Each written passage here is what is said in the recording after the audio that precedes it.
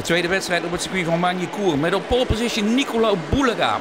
Geen Jonathan Ray die geopereerd moest worden aan zijn duim na de crash op zaterdag. En ook geen Alvaro Bautista die crashte in de Super wedstrijd en daarbij een rib brak. Problemen voor Alex Loos die door dat foutje heel ver terugvalt naar een zeventiende plaats. En we zagen hem ook naar beneden kijken of alles wel oké is. Maar Loos zou veel en ver naar voren komen. Zijn teamgenoot Axel Bassani ging in gevecht met Michael van der Mark. Van der Mark werd achtste in de Super wedstrijd. Viel een beetje tegen omdat hij lange tijd op de derde plaats lag. En ook nu heeft hij de derde positie in handen. Bassani moet dan een longlap penalty doen omdat hij naast de baan terecht kwam en onvoldoende tijd verloor.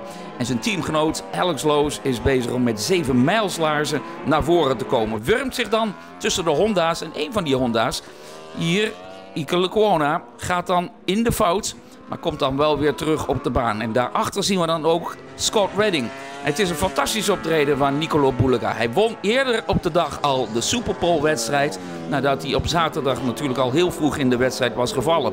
En dan vier ronden voor het eind. Garrett Gerloff heeft dan al de derde plaats overgenomen van Michael van der Mark. En Michael ziet dan ook zijn oud teamgenoot Alex Loos naar voren komen en voorbij komen. Een vierde plaats dus voor Loos die van heel heel ver kwam. De derde plaats voor Garrett Gerloff, die op zaterdag zo'n 150ste Superbike-wedstrijd reed. Maar het was de dag van deze man en dat wil hij weten ook. Nicolo Boulega wint niet alleen de Superpole-wedstrijd, maar ook de lange race op zondagmiddag.